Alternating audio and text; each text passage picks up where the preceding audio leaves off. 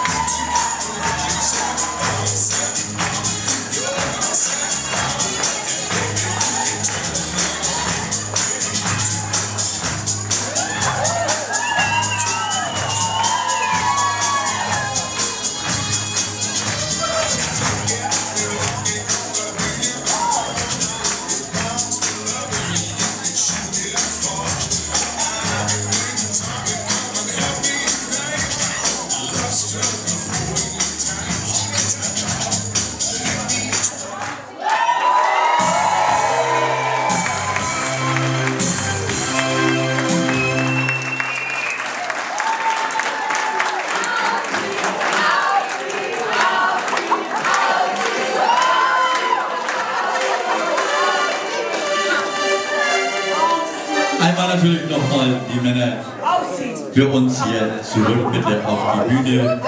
Ein ganz toller Vortrag. Ja, genau. Jetzt ist die Prinzessin da, nicht der Prinz.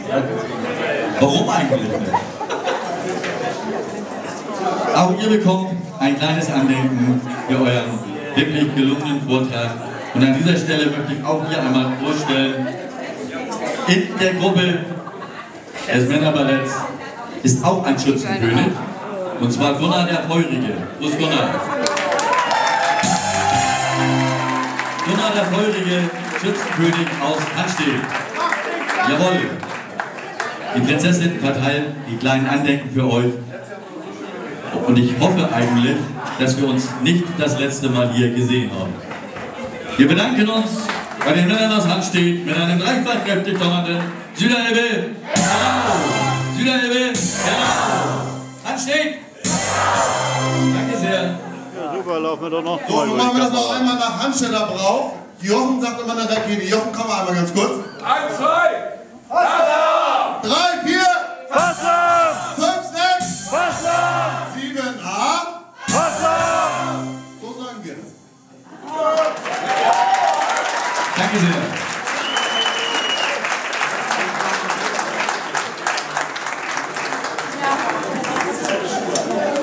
Jawohl.